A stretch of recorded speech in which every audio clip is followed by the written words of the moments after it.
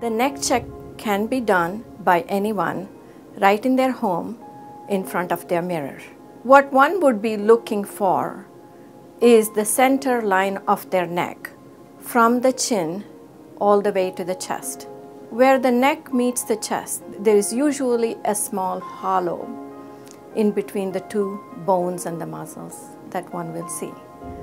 Higher up in the neck, usually people are familiar with the Adam's apple, of course, which is more prominent in men than in women. That is not the thyroid. Below that, there will be the thyroid. So one gets familiar with how that center line bulge looks like and the right side of the center line and the left side of the center line just below the Adam's apple.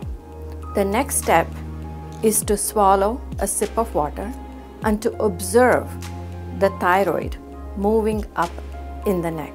And this takes a little experience of knowing one's neck because usually people are not familiar with their neck.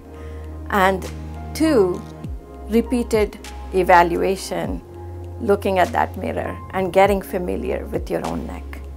And once you find the thyroid and you're comfortable that's your thyroid, you want to see if it's a smooth area that moves up and neck or there are any bulges which are asymmetric from one side to the other.